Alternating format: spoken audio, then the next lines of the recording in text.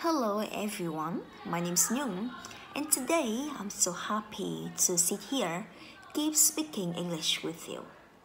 And today I want to share with you about a very interesting topic the responsibility of the parents with their children. How do you think about the responsibility of the parents with their children? Is It is right if the parents just need to feed their children and help them to have a, um, a place to learn or something to play is this right? Just need to feed feed their children. It means you just need to make sure that your children are not hungry are full and they have some place to play. Or um, just go just need to go to school. Is this right?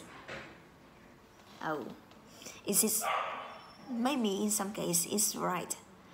But the most important that the parents need to need to give give their children is the the ability to um, to against the bad situation to against the um, maybe the bad effect of the environment. Oh yes I, I think that because i have many chance many chances to um, work with the children and i found out that they don't just need to be fed to be fed they don't just need to be fed they need to take care need to be taken care of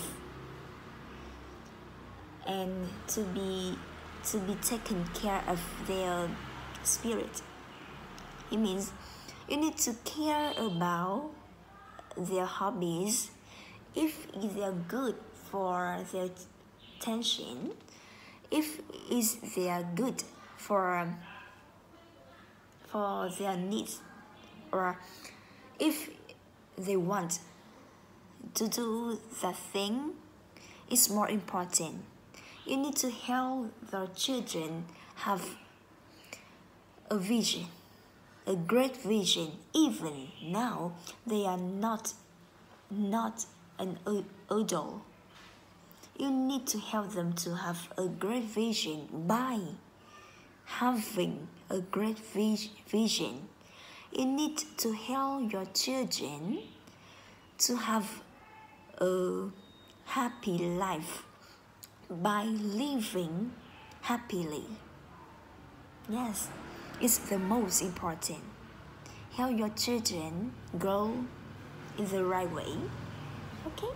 So it's my it's my opinion. And how about you? What do you think about the responsibility of the parents with their children? Share with me and we can discuss more.